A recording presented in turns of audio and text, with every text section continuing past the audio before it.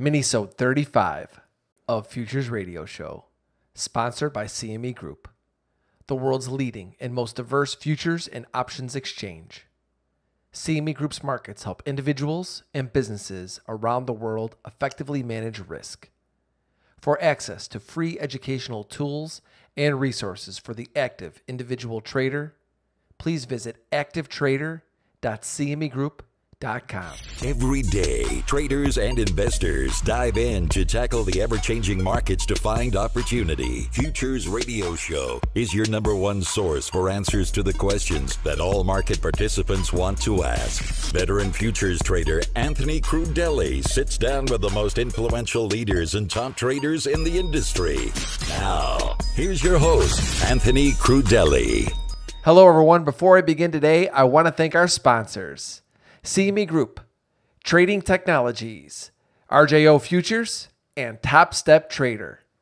Now, today I spoke with two guests Jesse Felder, founder of the Felder Report, and Michael Lebowitz, partner at 720 Global and Real Investment Advice.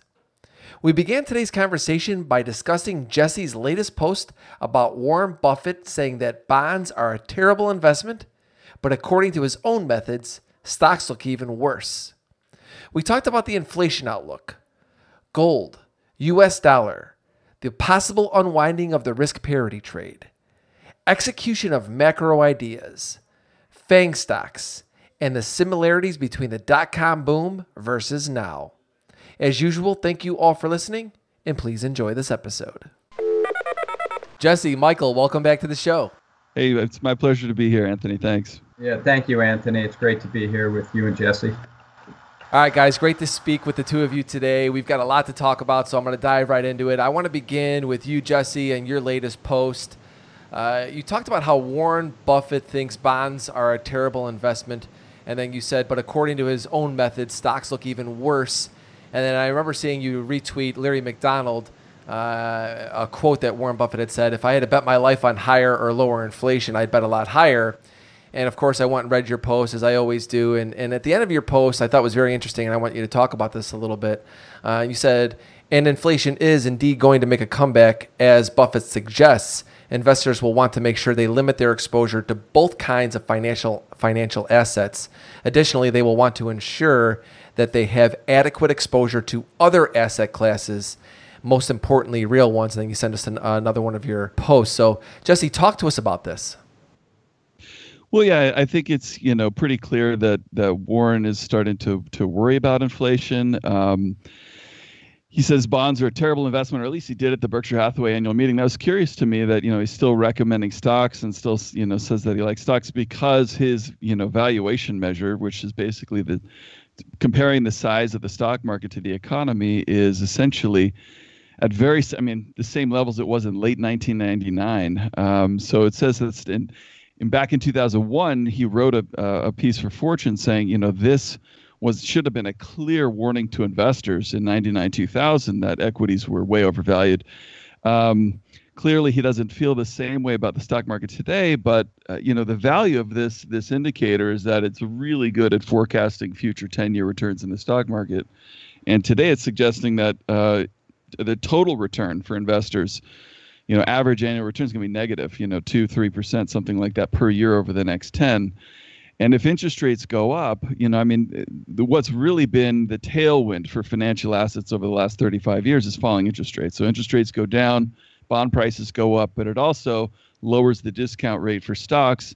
So stock prices have benefited too, and we've seen valuations you know from 1980 you know PE ratios were were tiny single digits to now we're you know 25 PE ratio on the S&P 500 and so if interest rates are going to go back up as a you know part of a renewal of inflation it's going to be bad for both all kinds of financial assets anything that's discounted you know by an interest rate. So um, you know both stocks and bonds are probably going to you know uh, not do very well in that type of an environment a rising interest rate environment and the best way to protect yourself in an inflationary environment is to own real assets. And uh, I think the most important one of those is is gold. Um, it just is is the ideal inflation hedge, and um, you know with the the currency wars, I think, heating back up uh, again. Um, it's going to be gold is going to be and just an integral part of any diversified portfolio going forward.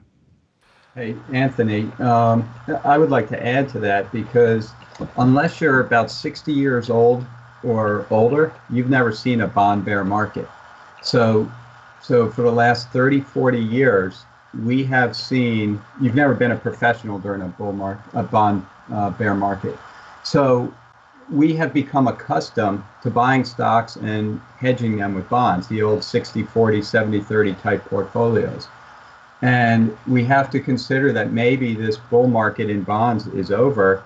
And if so, how do we reposition? And like Jesse is saying, commodities and gold offer something that gets you outside of the equity and bond boxes. All right, Michael, I want to stay with you here for just a moment. I've heard both of you mention gold already in, this episode. And if I remember correctly, Jesse said that investors are going to want to have real assets in their portfolio, and gold is going to be an integral part uh, of any portfolio going forward. So I'm under the assumption, after you just mentioning people having to reposition, and you mentioned commodities and gold, that you're on the same page with Jesse, that you think that people are going to have to own gold going forward. Uh, I, I do think that gold is a great place to be. Doesn't mean you should hunker down and own 100% gold, but I think every portfolio should have an allocation to gold. Um, and that allocation should probably be increasing at the moment. There are an incredible amount of risks out there, geopolitical and financial. The unwinding of QE, both here and soon to come, in potentially in Europe and Japan, introduces even greater risks. And like Jesse was saying, inflationary pressures are starting to show themselves. They're not they're not large right now, but but they are starting to show themselves. So inflation protection should become something that investors are thinking about and planning for. And I think gold has traditionally been a great place to be, um, especially when there's monetary shenanigans going on in addition to inflation. Okay, Jesse, I'd like to go back to you here for a couple of thoughts. First is on the possible unwinding of the risk parity trade. I've been talking about the possible unwinding of the risk parity trade for a couple of years. It hasn't really happened, but I'm not playing it on a longer term basis, but on the short term basis, I am very aware of situations when stocks are going lower with bonds and treasuries, especially when they're breaking down on daily charts together. I think that's a major risk for the stock market. So I'm curious what you think about that. Talking about execution of what you're seeing, I mean, you mentioned that you don't think that equities are going to do so well over the next 10 years. So if you don't think equities are going to do so well and you think that people should have should own some gold, I'm just wondering how are you executing that that type of strategy? Uh, that's a great question, and I do agree with you. I think that uh, there are potential trapdoors um, in the equity market. They're probably greater than they have been in a, in a very long time. And as a function, it's not just risk parity. I think risk parity is basically just one version of the short volatility trade. And I'm talking about, you know, specifically short VIX, but also you've seen a lot of investors go short puts. Um, I think we've seen a lot of investors, you know, just retail investors, you know, buying products that are essentially selling insurance in a lot of different respects, and these things, uh, you know, have uh, you know, very asymmetric risk reward. That opens up these kinds of risks to the market. But the the way I I traded personally, which is not right for everyone, but I, I I'm long and short, so I own things that I think are equities that I think are going to do well going forward that, that, you know fit my discipline that I think are super cheap and out of favor. Um, I like things that have a lot of insider buying, and then I'll look to hedge my gen- that general market risk that I'm I'm, I'm worried about through um, some type of a hedging strategy, either you know uh, some type of a, a tail hedging using you know put options or just shorting um, you know usually for me it's it's the broad indexes so major etfs versus what i own. Um, and so that that's how i manage that risk. I think for the average investor probably the best way to do it is to just limit their exposure to equities to something that is is tolerable for them. You look at you know the greatest asset allocators on the planet.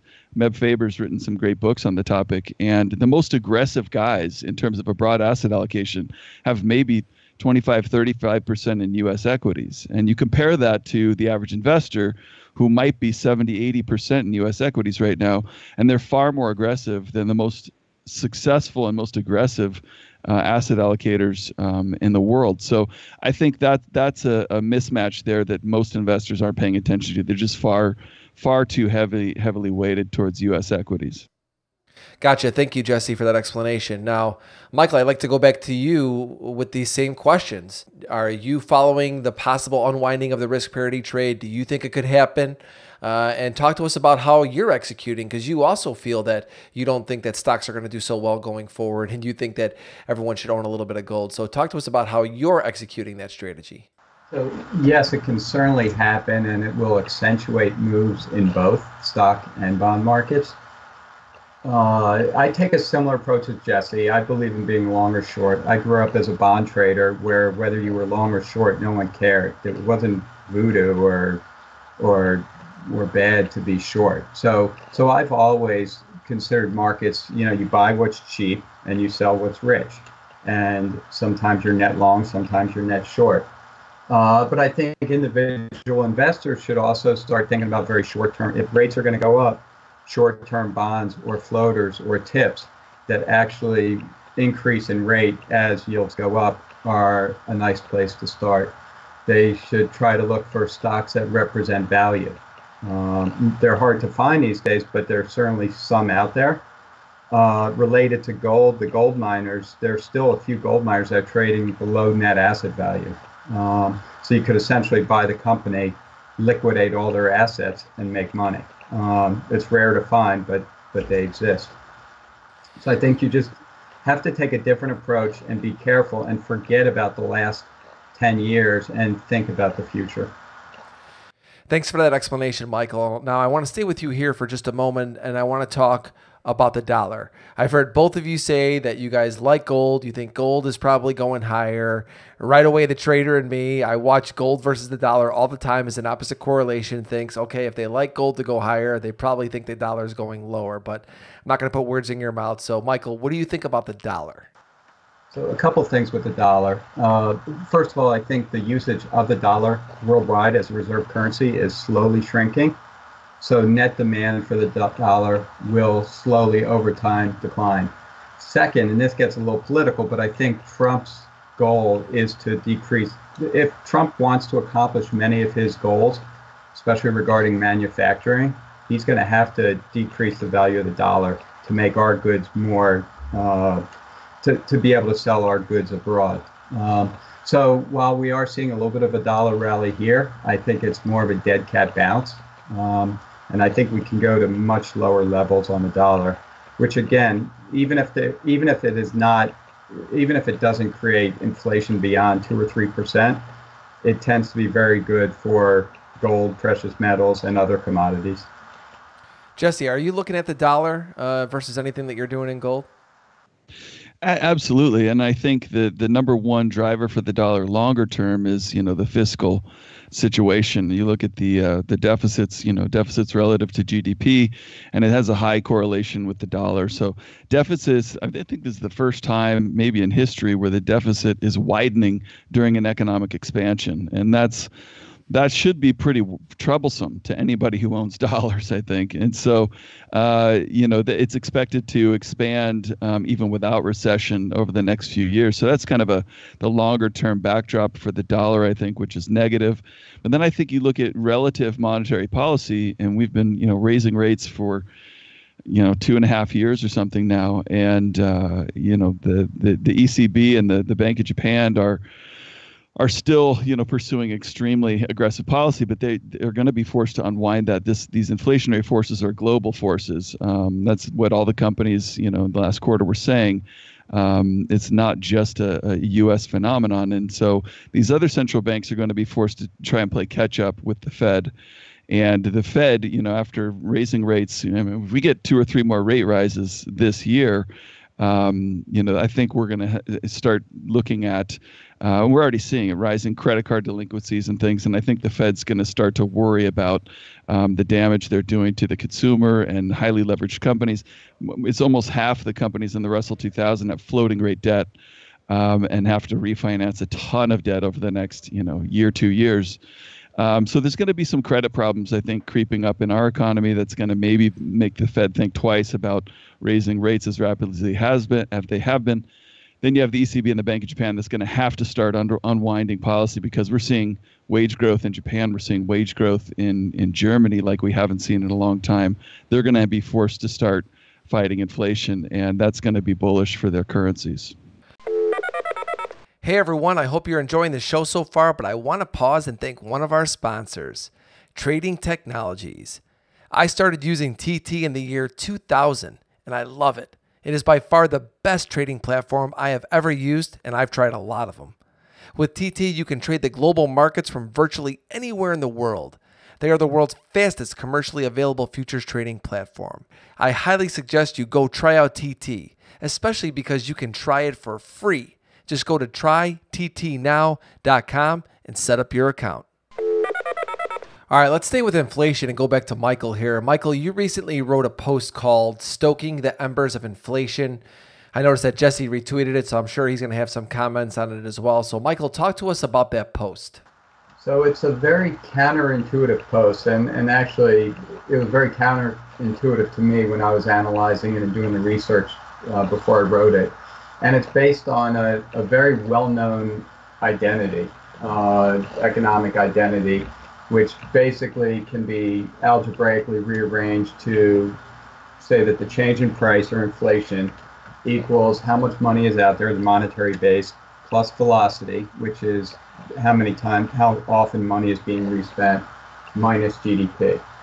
And I focus significantly on the monetary supply and the velocity. And I know this is getting complicated, but the bottom line is that velocity, based on prior regressions that has almost a 95% uh, R squared, shows that when money supply is increased, it actually can have a deflationary effect.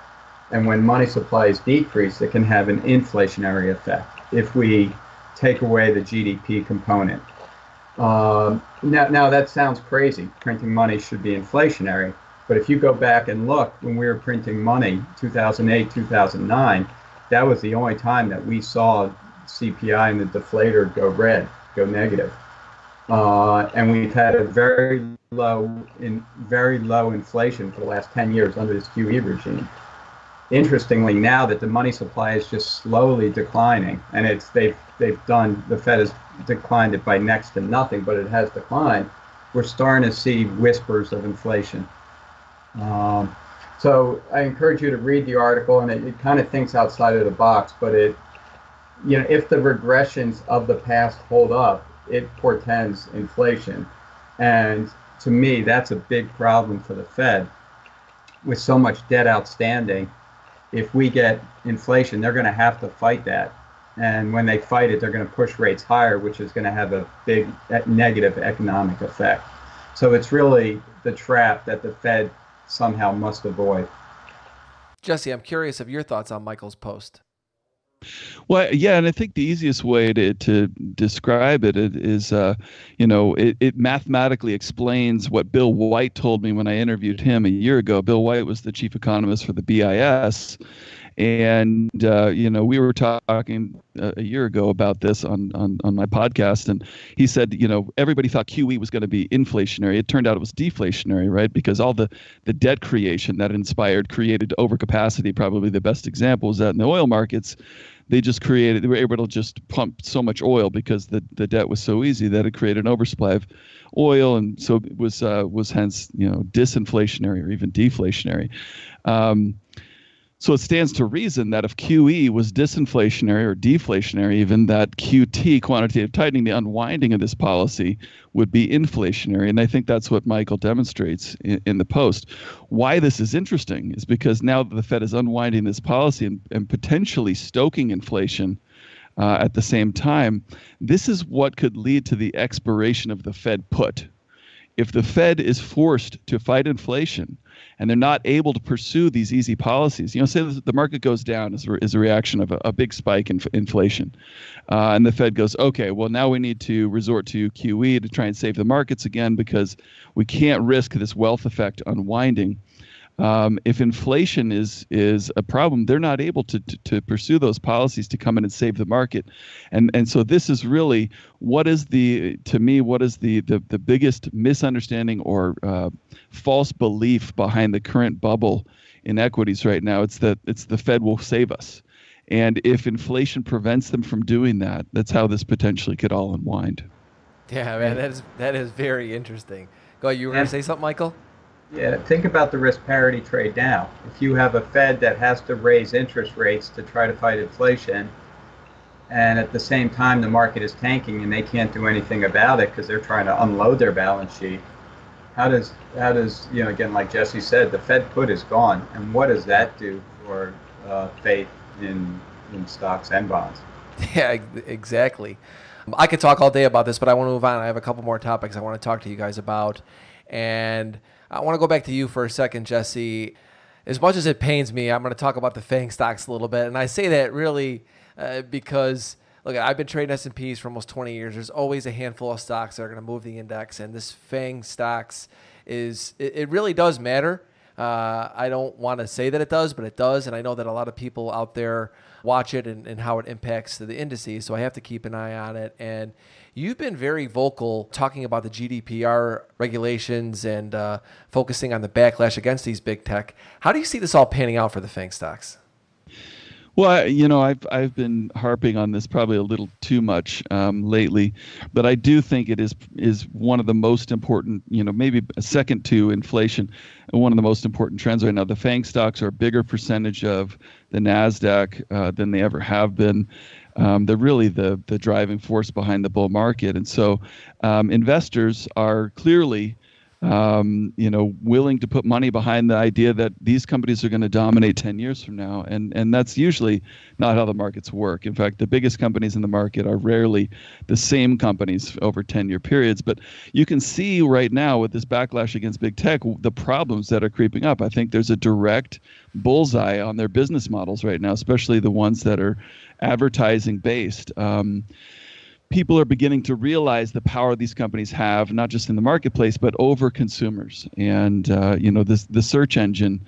Um, there, you know, there's research coming out recently that the search engine is one of the most um, efficient ways to manipulate people's thinking ever created, you know, by humankind. And so, you can do simple things. You know how you see Google um, suggested, you know, topics. You type in Hillary Clinton, and it suggests if it's a, if it suggests Hillary Clinton is um, you know a liar, that influences how people vote. If it's if it suggests Hillary Clinton is winning, you know that in, influences how people vote, and actually has an eighty percent um, success rate in influencing people's thinking about a certain topic. So I think people don't realize how much, generally, people don't realize how much power these companies have, not just in the marketplace, but over the way people think and over, you know, and we've seen it in, you know, elections and things around the world there's a small number of people. It began with some insiders in Silicon Valley who are really beginning to blow the whistle here. Roger McNamee, Tristan Harris, and a number of other people said this this is crazy uh, the power these companies have. Politicians, especially in Europe, are just now beginning to figure this out and figure out how dangerous it is potentially to undermining democracy and these things and there there are people that are that are becoming um, the, the the will to regulate these things potentially break them up is just only becoming stronger and stronger. And it's it's amazing to me that people think oh this will just blow over because it's it's not. In fact all the trends point the other direction that these companies business models are under attack by regulators and that that will to do that is is only growing stronger with every day Michael, is this something that you've been following, uh, GDPR and the FANG stocks and potential impact on the market? I have not as mu- not as much as Jesse's been on it, but I, I, I'm thinking about it more from a user's perspective. And when you start paying attention to your Twitter account, to your Facebook account, you'll notice how targeted some of those ads are, and it's starting to get creepy for me. Um, and I think it is for other people as well. So the question for me is, how will usage over time develop? And will people start caring about their privacy again? And that has that can have a massive effect um, on. Yeah, no doubt. I mean, I can't see how it doesn't. Uh, I, I've noticed it as well, uh, and I'm on Twitter mostly. I think like you guys are, but it is pretty incredible how you could just do a basic search of something, or you know, look at flights. The next thing you know, uh, they're they're showing you ads. Uh, you know, come to the Bahamas. It's really it, it's pretty pretty crazy. Well, I, I, and I would yeah, I would just add to that that users don't understand the costs related with this. Um, that you know, a lot of people say, "Well, I'm not being manipulated. I can, you know, I can manage my own uh, emotions," and and science says otherwise. But I think the one thing that users should understand is that you're going to pay. You could potentially pay higher uh, rates for airline flights. You could potentially be denied a loan. You could potentially be denied a job. You know, a lot of these different things um, you know that that you're being discriminated against based on your search history, based on your likes on Facebook. And so I don't think people ever realize the fact that I may not even ever see this one job opportunity because the company doesn't want people that fall into this box. And so the discrimination that's happening against users already as a function of all this data mining is very significant. And um, people don't realize, I think, the costs to them from giving away all this information and allowing themselves to be categorized in these ways. I would add one thing to that as well. These companies, at least Facebook, Google, Twitter, they are advertising companies. So investors better understand that they're advertising companies, and the amount of advertising dollars has stayed very close to 1% of GDP. So the question is, what percentage of that revenue can they get? Can they steal from the traditional networks and from the billboards and from radio and from more traditional advertising and how much can they garner from abroad. But it's not an unlimited pool of revenue that these companies are looking at. So at valuations such as today, I hope investors understand what they're really buying. Uh, that's an excellent point, Michael. And you know, Jesse, you you've also been talking about the misallocation of capital or malinvestment during this recent half cycle. And you said you're seeing similarities from the dot com boom to now. What are you seeing that's similar? Well, I think the most obvious similarity is just the number of um, companies that are um, coming to market that are you know not profit making, and I think really Amazon is really the model here. Uh, you know, we want to just take share. And we don't care, you know, how much money we lose in the process. There's a bunch of, you know, companies. Um, I think what was the statistic? 76% of companies that went public in 2017 had negative earnings um, the highest level since the dot com mania. And I think the dot com mania just got over 80%. So we're seeing the same number of loss making companies come public. Uh, and so, you know, when you're when you're funding a lot of these loss making companies, the, the, the dot com bubble was a good example of of how that ends up for investors. You know, most of those companies, how many companies in the Nasdaq went down 90% plus in the bust and uh, and never came back? I mean, 100%.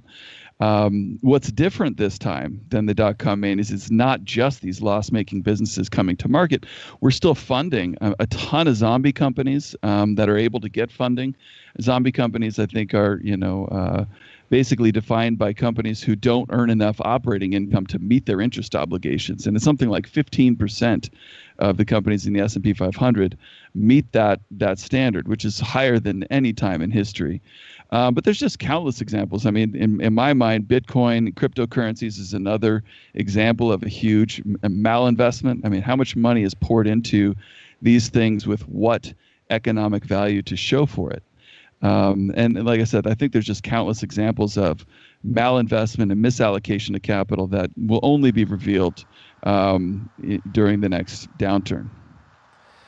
Michael, are, are you seeing these uh, similarities from the dot com boom that Jesse speaks about to now?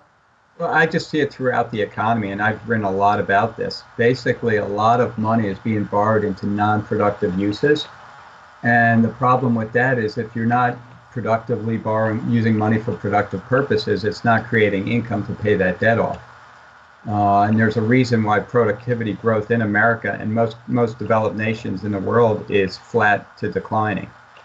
And at the core of economic growth is productivity. Without productivity, you either need demographics or debt. And we've seen debt replace productivity, and demographics become a problem awfully soon as well due to the aging baby boomers.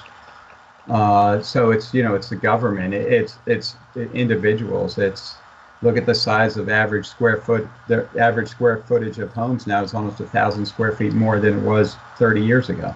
That's it, it, it's nice, but it's it's not productive investment. And I would just point out a, a couple other things too. I mean, I during the dot com mania, we saw massive build out in telecom. Companies like Global Crossing laid fiber optic cable. I don't know how many times they could cover the earth, uh, and they all went bankrupt. Um, and it was just a huge overcapacity, overbuilding of that, just as a function of the euphoria surrounding the the internet bubble. Um, I think you know the build out of cloud computing today could maybe prove to be something similar to that, but I think maybe the greatest misallocation of capital today that I'm seeing is all of the borrowing on company balance sheets. I mean, leverage is off the charts, or at least as high as it's ever been, um, new highs. Um, in leverage, corporate leverage, and a lot of that's just going to stock buybacks, which you know there's nothing, no no, no economic um, uh, I guess gain to to to show for that. Um, so these companies are just leveraging up their balance sheets to retire equity. And if that were done on economic terms, you know, this comes back to the, the where we started with the Buffett post. Um, if equities were generally a good investment, then the buybacks would potentially make sense because they could. Uh, but when when you're buying back stock at valuations that make no sense from an investment standpoint, you're basically just burning money in a, in a way to enrich executives um, because a lot of these buybacks are sur- simply to to uh, ameliorate the um, issuance of shares and to allow uh, executives to have somebody to, to sell their shares to when they exercise stock options. So um, I think there's just countless, you know, examples of this, and um, it's you know, it happens during every boom, but it also makes the the the, the following bust uh, more more painful and more difficult. I, I would just add on the topic of Warren Buffett, he railed on stock buybacks uh, in the late 90s, in specific when companies were buying stock above the intrinsic value of the company. Now it's interesting that he's buying companies like Apple, whose stock price is well above its intrinsic value, who are buying back shares as quickly as they can. Uh, so it's a lot of double speak there. Last question today for you guys. We're pretty much halfway through the year. I know we talked a lot of macro today, and you know me on the trading side, I always want to talk a little bit about execution. We'll start with you, Michael. What excites you the most for a trade opportunity in the second half of the year? I'm going to keep a close eye on inflation type trades, trying to take advantage of unexpected inflation uh, how to you could play that numerous ways, whether it's as we discussed, or if you're more sophisticated, you can do it with swaps, with inflation type swaps, break even swaps. Uh, but that's where I'm going to keep my eye out, and I haven't really done much in that area, but I think that's that's where I think most investors are off sides, thinking that inflation can happen here. And if the Fed continues on the path that they're on, I, I really think that inflation could be something that I, am not calling for hyperinflation, but it could be shocking inflation, and that could present some very nice opportunities. Jesse, what's something that you're keeping an eye on for potential trade between now and the end of the year? You know, I, have been really bullish on this inflation trade, and I and I I've been very bullish on gold, but I have a longer term. I think it's a multi-year uh, time frame, um, but it looks to me like gold could break out at any time.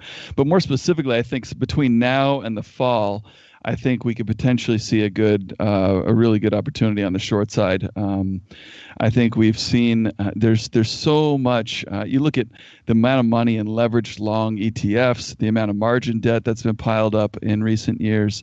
Um, there's just a lot of uh, euphoria.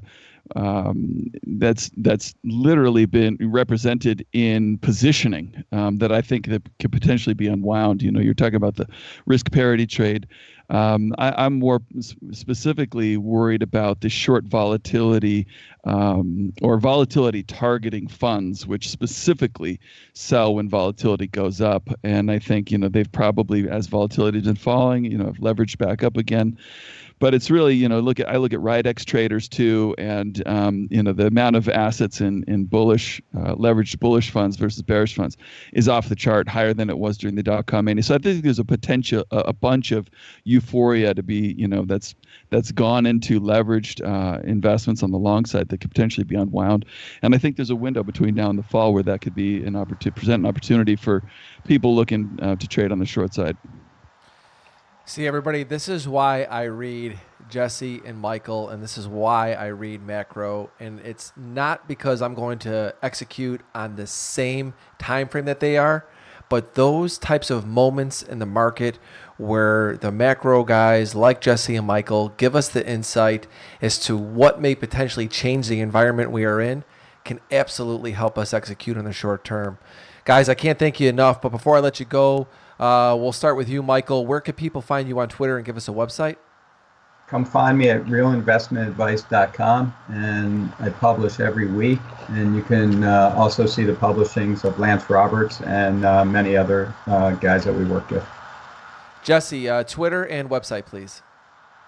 Uh, it's at Jesse Felder and uh, thefelderreport.com. I, I don't blog probably as often as uh, Michael does, but I do recommend I subscribe to his stuff and read everything he writes. But uh, so yeah, once in a while I'll, I'll, try and put up a blog post at thefelderreport.com. All right, everybody, you know where I stand. I, these two guys are great. I can't thank you guys enough for coming on Futures Radio Show again. Thank you so much. Thank you. Thank you. Thank you for listening to Futures Radio Show. If you have any questions or comments for myself or my guests, please visit futuresradioshow.com and sign up to be a premium member for free. If you enjoyed the show, don't forget to leave us a review on iTunes.